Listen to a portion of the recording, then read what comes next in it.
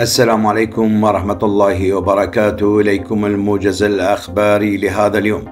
أربيل تدخل بغداد عبر بوابة طهران انتحار رجل خمسيني بسبب الديون وسط البصرة.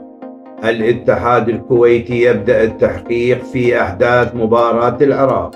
زين العراق تطلق خط كفو الجديد بخدمات مبتكرة. ورصيد مضاعف وباقات متنوعة. تلبي احتياجات المشتركين. إليكم تفاصيل الأخبار. قال أستاذ الأعلام عدالة عبد الله اليوم الخميس 12 أيلول 2024 إن زيارة الرئيس الإيراني مسعود بسشكيان للعراق عليها رهانات كبيرة. أشار إلى أن الزيارة لها حسابات من جانب الإقليم وسيتم فتح موضوع الخلافات السياسية التي حصلت بين بغداد وأربيل بخصوص الموازنة.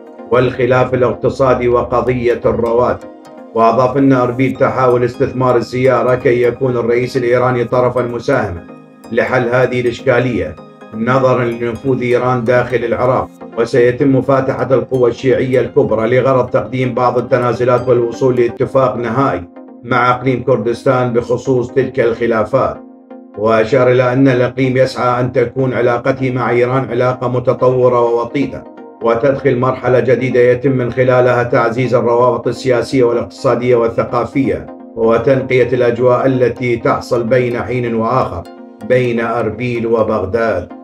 أفاد مصدر أمني في محافظة البصرة اليوم الخميس بأن رجلا خمسينيا أقدم على الانتحار بسبب تراكم الديون وسط المحافظة.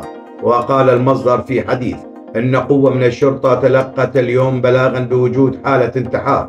لرجل من تولد 1966 شنق نفسه داخل داره في منطقة حي الحسين ضمن منطقة الحيانية وسط البصر. وأضاف المصدر أن التحقيقات الأولية بحسب ذويه أن سبب الانتحار يعود إلى وجود ديون كثيرة في ذمة الرجل مشير إلى أن الشرطة ما زالت تحقق في القضية. أعرب الاتحاد الكويتي لكرة القدم عن أسفه أثر الأحداث التي وقعت على هامش مباراة الأزرق.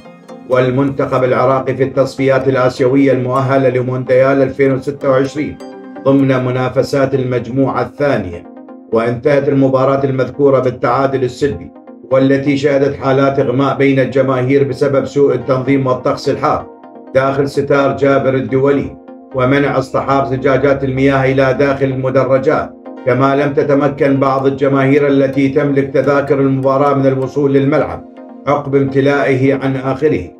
وشدد الاتحاد على اعتزازه بالجماهير الوفية التي ساندت الأزرق في رحلة التصفيات المونديالية وشدد على أنه رصد ما تعرضت له الجماهير من معوقات خلال المباراة المذكورة خلال اجتماع لمجلس الإدارة. تم عقده اليوم. أطلقت شركة زين العراق للاتصالات خط كفو الجديد لتوفير أحدث الحلول والخدمات المبتكرة والحصرية التي تلبي احتياجات المستهلك العراقي. لما يحتوي من باقات متنوعة تلبي احتياجات جميع فئات المجتمع. خط كفو الجديد يقدم رصيد مضاعف عند الاشتراك بالباقات. يصل إلى أربع أضعاف الرصيد. استخدام مجاني لمواقع التواصل الاجتماعي عند الاشتراك بالباقات الشهرية.